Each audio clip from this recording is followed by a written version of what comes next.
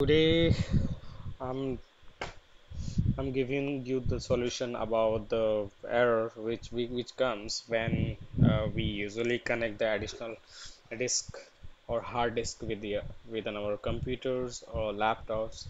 When we is that if you'll see that we the drives are not appearing under the sections like if you'll click on this PC and the drives is not showing here over here this is not not coming any additional disk additional partitions when we connect the drive on our computers. Either it's a hard disk or additional disk drive.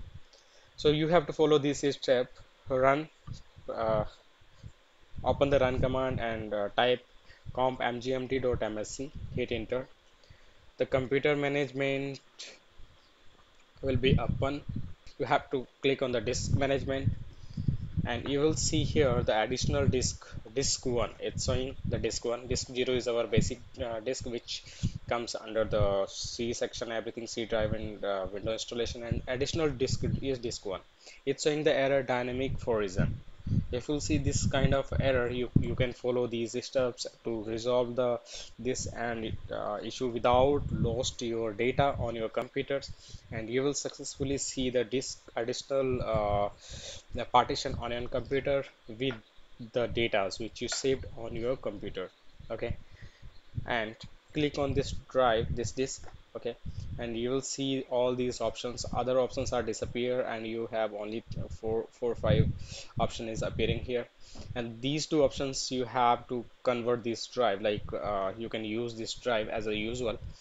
My suggestion will be here don't convert to basic disk this drive because you can lost your data and you you might be your data will be lost and you will not find your data over there when it comes with the basic disk I will suggest that only you have an option here to import the drive import foreign disk and click on this.